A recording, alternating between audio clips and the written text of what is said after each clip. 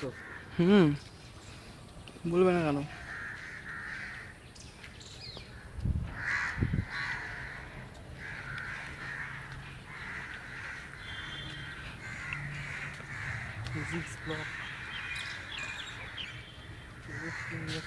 Sir কোথায় গেল?